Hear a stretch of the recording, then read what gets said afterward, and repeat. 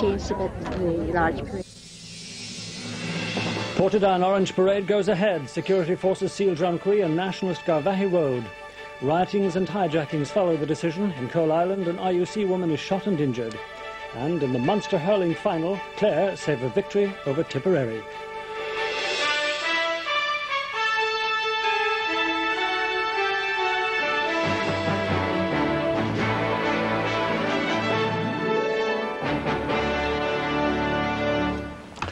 Good evening. A policewoman has been injured in a gun attack on an RUC patrol in Coalisland in County Tyrone. She was part of a three-member patrol sitting in an RUC vehicle outside the local police station when a man opened fire with a shotgun.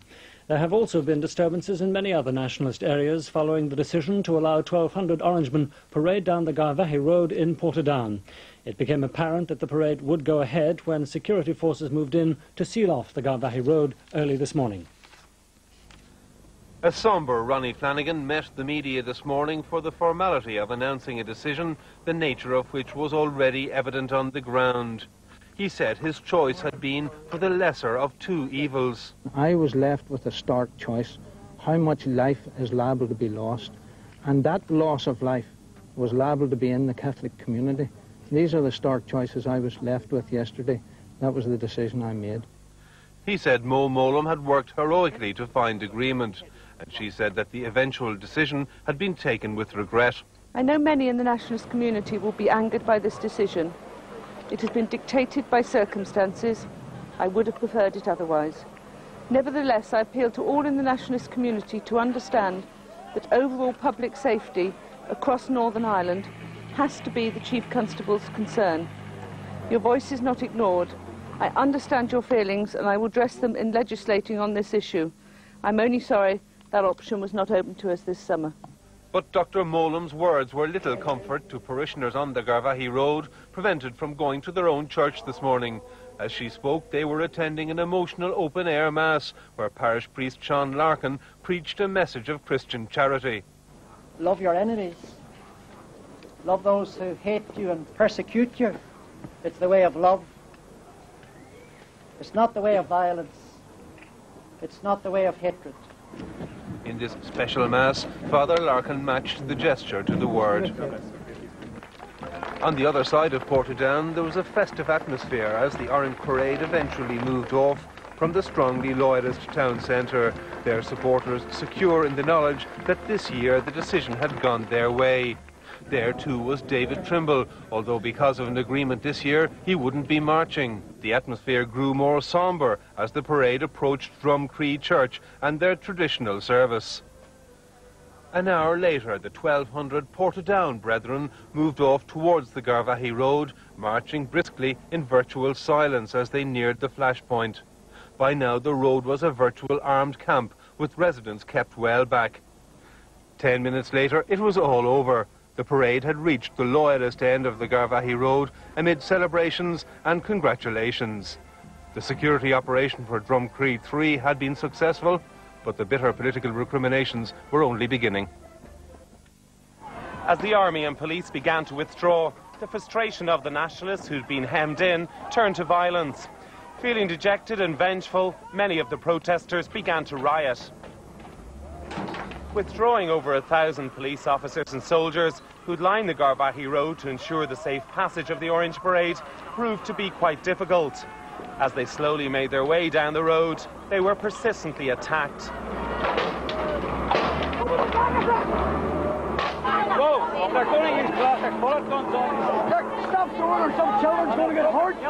Within minutes, the troops opened fire, discharging at least 60 baton rounds. The man on the far right was hit.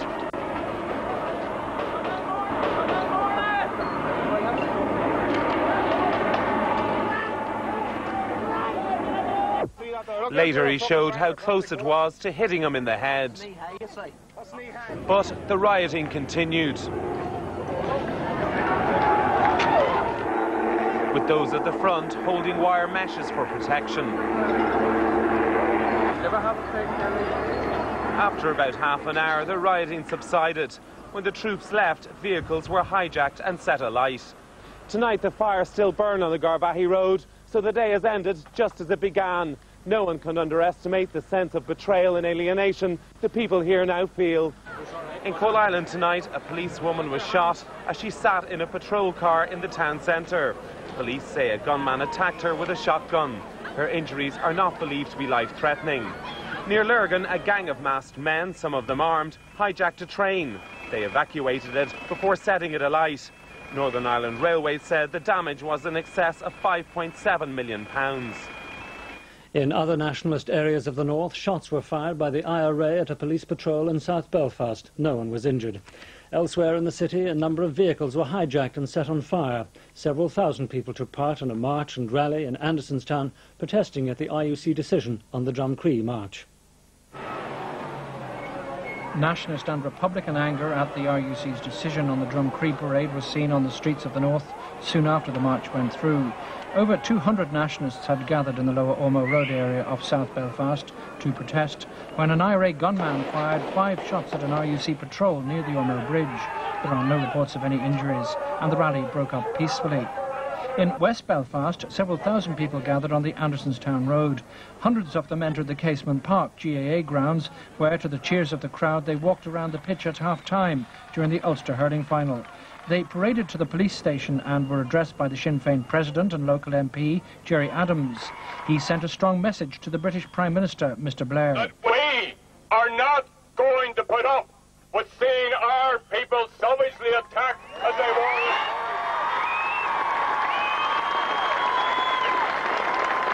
Earlier, a number of vehicles were hijacked and set on fire in West and North Belfast. The attacks were condemned by the city's Deputy Lord Mayor, Ulster Unionist Councillor Jim Rogers, who had earlier observed the Drumcree March.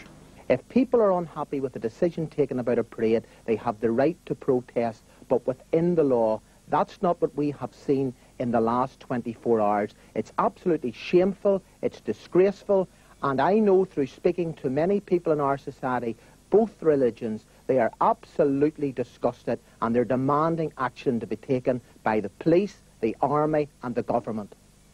In Derry, several thousand nationalists from the Bogside have marched through the streets in protest at today's events in Drumcree. The rally passed off peacefully. And in Newtownbutler and County Fermanagh, the RUC moved nationalist protesters off the road to allow an orange parade go ahead this evening. Those who marched on the streets of Derry tonight said they had come out to show their solidarity with the people of the Garvaghey Road. It's about time that this stopped and there'll never be peace in this country unless the DUP and the Orange Order change their attitude towards the Catholics of this country.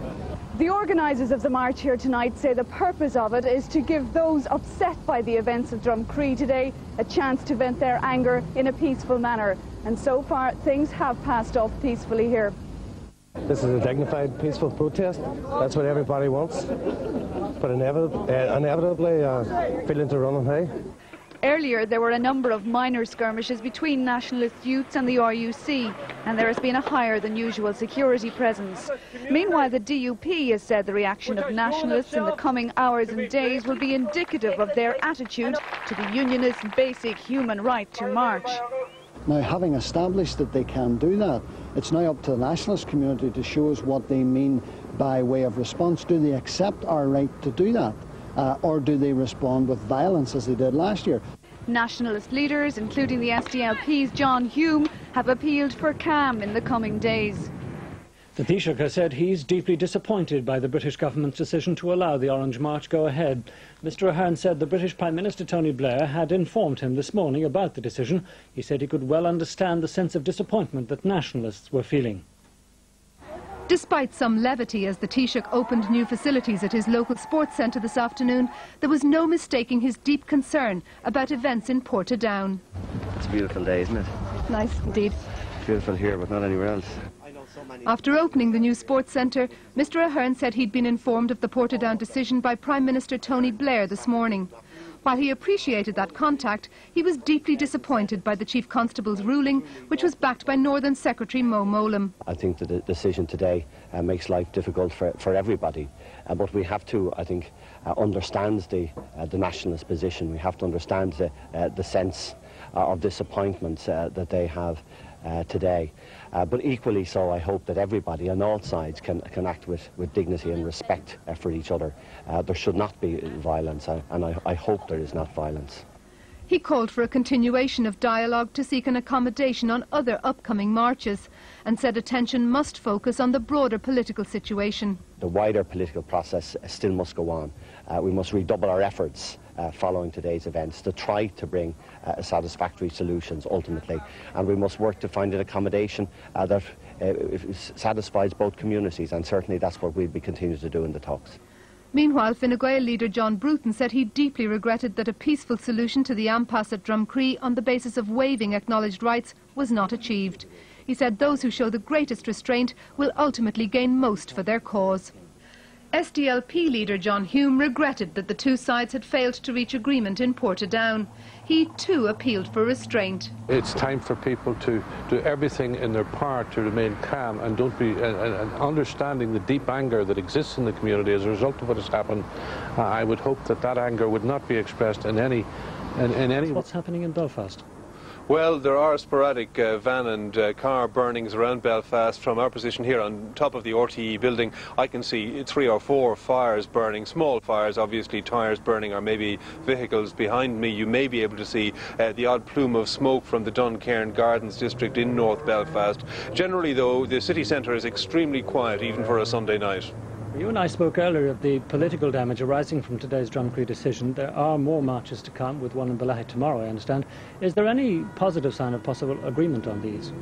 Well, it's going to make it very, very difficult to agree terms on disputed marches, given that nationalist feelings are now so bruised after what happened today. Uh, I think that uh, you can expect to see confrontations of some kind or another, although at the end of the day, the situation may be settled in Bellaghy tomorrow. And of course, on the 12th of July, you have a large march in Derry. And more problematically, you have the march on the Ormeau Road, where we saw some disturbances today. That could be a flashpoint. So in